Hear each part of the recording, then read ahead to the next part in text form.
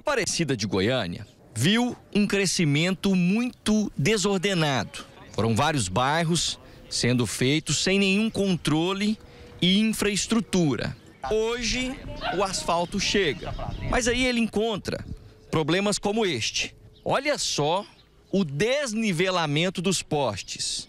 Cada um vai para um lado, não há uma linha reta organizando eles. E aí, quando o pessoal da engenharia chega para fazer a marcação, não tem jeito. Aqui na Alameda mesmo, a gente olha lá atrás, ó, o asfalto chegou até lá e a gente passou pelo setor aqui.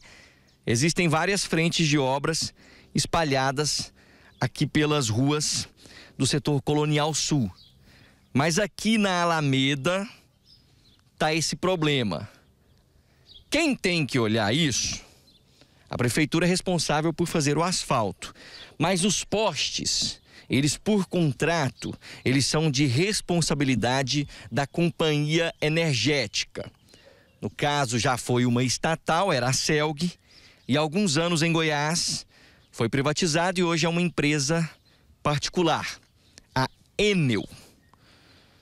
Como é que é? O senhor mora aqui há quanto tempo? Eu moro aqui há 33 anos, né? É, sempre é, pedindo benefício para nós aqui, né? Sobre o asfalto e tudo mais, né? Que sempre uma buraqueira na época da chuva, né? É... O senhor mora bem ali onde, onde o asfalto parou? É, exatamente. Eu fiquei Parou contente, na porta da sua casa? Na porta da minha casa. Eu fiquei contente, pensei, agora sai, né?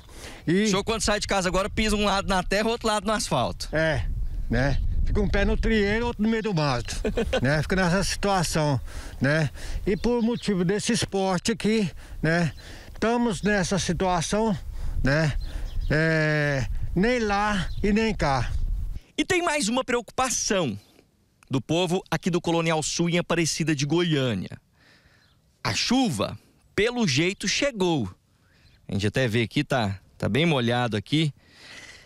Inclusive, no tempo da seca, é poeira. No tempo da chuva, é lama, barro. E a obra está correndo. Se chover mais, infelizmente vai ter que ser paralisada. Daí também a preocupação de vocês, né? Isso. Com essa demora para que os Quando postes demora, sejam retirar. alinhados. É verdade. É porque é quando chove, é, esses dias mesmo deu a chuva não muito forte, entrou enxurrada todinha dentro da minha casa. A senhora não aguenta mais isso? Como que aguenta? É, menino invade tudo, é, acaba com as coisas da gente tudo, né?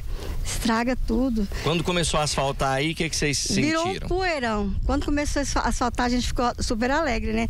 Agora vai, vai passar o asfalto, agora vai livrar da poeira, do barro. A poeira tudo. ia acontecer ali, mas ia ser rapidinho, até o benefício chegar. Só que não, só que não é, aconteceu. Vamos para a situação hipotética, ideal, de como os postes deveriam estar aqui na Alameda Rui Rodrigues de Moraes deveriam estar como estão aqui esses jovens, ó.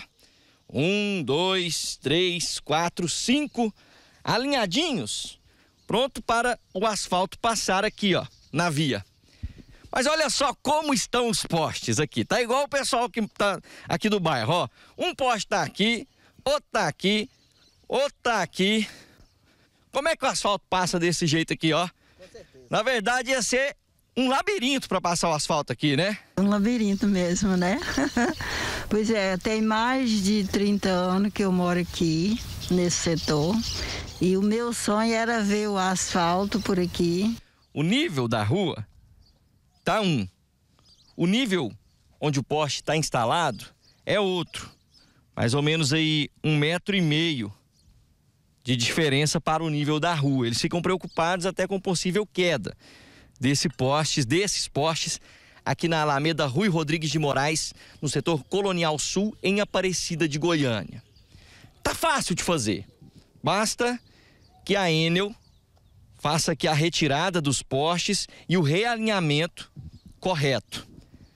O asfalto parou ali na parte de cima. Daqui uns 500 metros de rua não asfaltada, dá lá na outra via onde já tem um asfalto. Meio quilômetro é o que falta aí para concluir esse sonho de vocês aqui. Tem 11 anos que eu moro aqui e a gente batalha por isso aí. Então a gente queria, né, ver se eles, a Enio, dá um jeito, né, imediatamente, porque o tempo tá, tá correndo. O tempo tá correndo, fez, só falta esse pedaço para eles terminar e não a é justo. A população já pediu, vocês esperam ser atendidos. É, com certeza. O povo chamou, nós mostramos e agora queremos resposta.